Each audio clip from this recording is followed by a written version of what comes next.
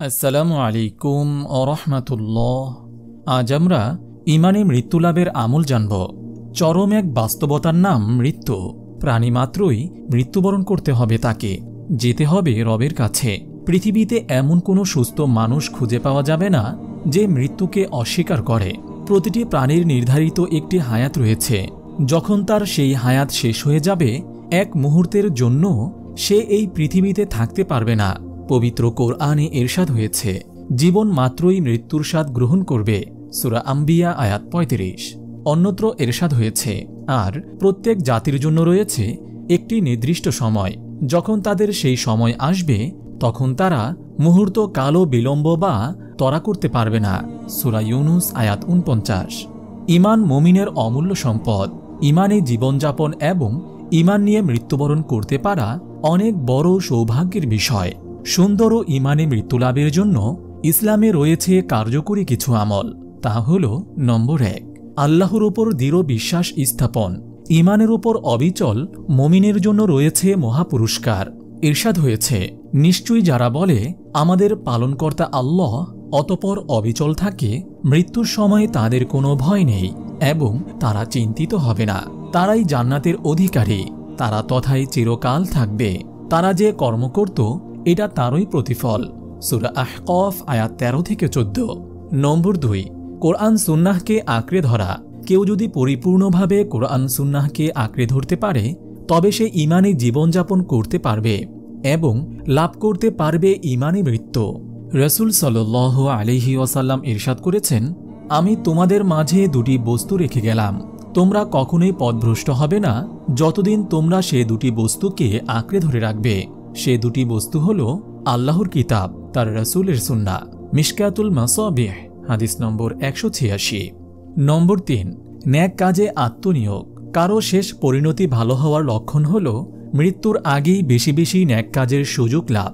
হাদি শরীফে এসেছে, রসুল সাল আলিহি ওয়াসালাম বলেছেন, আল্লাহ তালা যদি তার কোনো বান্দার কল্যাণ করার ইচ্ছা করেন, তাহলে তাকে কাজ করার তৌফিক প্রদান করেন।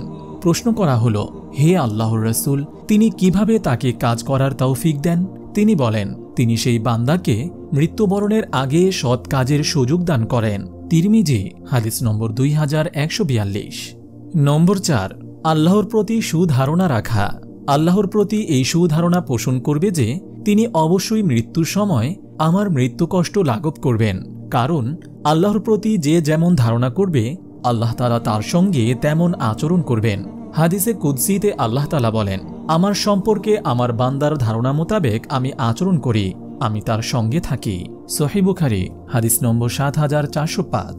অন্য হাদিসে ইরশাদ হয়েছে, রসুল সাল আলিহি ওয়াসাল্লাম বলেন, তোমাদের সবাই যেন আল্লাহর প্রতি উত্তম ধারণা পোষণরত অবস্থায় মারা যায়। সহি মুসলিম, হাদিস নম্বর সাত হাজার একশো একুশ। নম্বর পাঁচ পুণ্যের কাজে ধারাবাহিক প্রচেষ্টা। প্রকৃত মমিনের বৈশিষ্ট্য হল পুণ্যের কাজ পছন্দ করা, ভালো কাজের চেষ্টা করা, আর পুণ্যের কাজের প্রচেষ্টা মমিনের মৃত্যু যন্ত্রণা সহজ করে। হজরত আবু উমামা রদিয়াল্লাহতালা আনহু থেকে বর্ণিত রসুল সাল আলিহি ওয়াসাল্লাম বলেছেন, ভালো ও পুণ্যের কাজ খারাপ মৃত্যু থেকে বাঁচিয়ে রাখে। গোপনে দান আল্লাহর ক্রোধ ঠান্ডা করে এবং আত্মীয়তার সম্পর্ক রক্ষা আয়ু বৃদ্ধি করে। আল মোয়াজামুল কাবির, হাদিস নম্বর আট হাজার চোদ্দ। নম্বর ছয়, বেশি বেশি মৃত্যুর স্মরণ।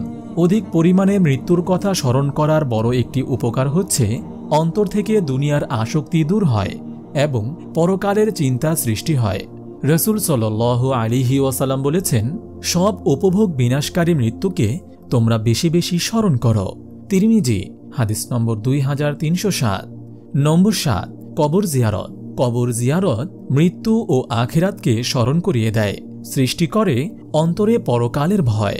ফলে এর দ্বারা অন্যায় থেকে তহবা এবং মৃত্যুর প্রস্তুতি গ্রহণে সাহায্য করে।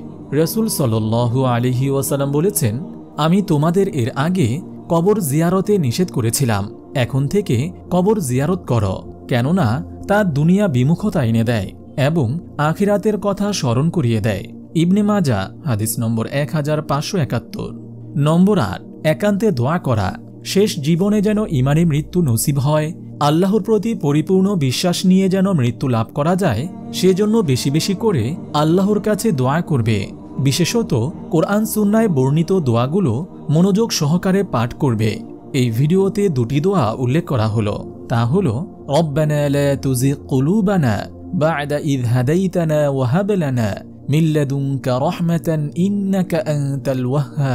অর্থ, হে আমাদের প্রভু, সরল পথ প্রদর্শনের পর তুমি আমাদের অন্তর সত্য লঙ্ঘনে ধাপিত করো না, এবং তোমার কাছ থেকে আমাদের অনুগ্রহ দান করো।